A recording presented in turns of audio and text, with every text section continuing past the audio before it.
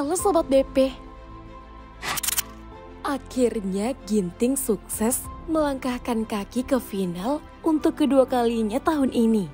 Terakhir kali pemain ranking 6 dunia ini melaju ke final dan jadi juara adalah di ajang Singapore Open 2022. Kala itu Ginting mengalahkan wakil Jepang Kodai Naraoka.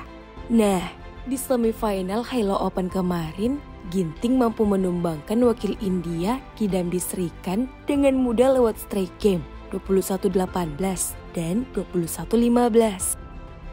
Permainan gesit dan lincah dikombinasikan dengan serangan mematikan menjadi kunci kemenangan pemain kelahiran Cimahi ini.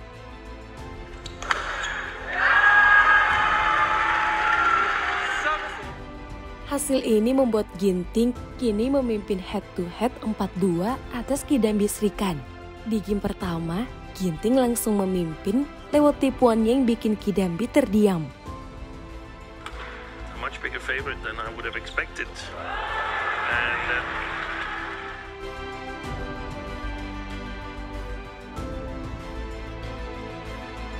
Wakil India yang mulai panas langsung mengambil alih momentum dan memimpin 6-3.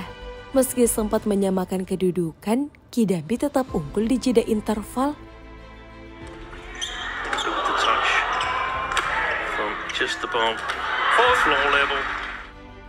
Pas interval, Ginting berbalik menekan lewat serangan beruntun yang menyamakan kedudukan.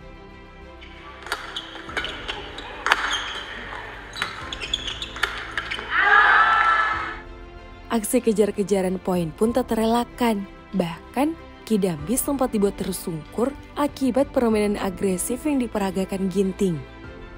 Skills he's got. It's amazing.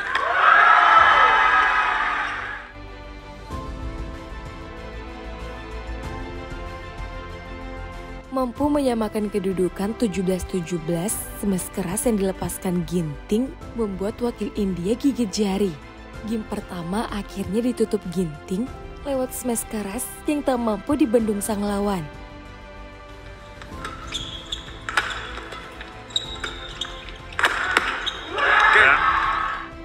Di game kedua, kejar-kejaran poin kembali terjadi.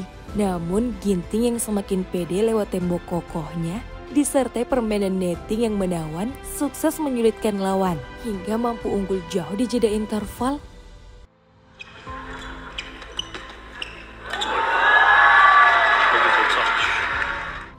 Pasca interval, bronze medalis Olimpik 2020 ini tak mampu lagi diimbangi Kidambi. Serangan-serangan cepatnya benar-benar membuat wakil India kelabakan. Bayangkan Sobat BP, pemain 29 tahun ini sampai tertinggal 20-11 di akhir laga.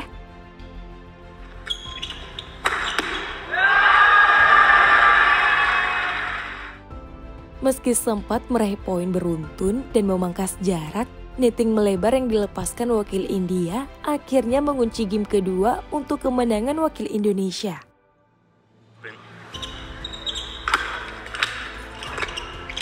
That's gone wide.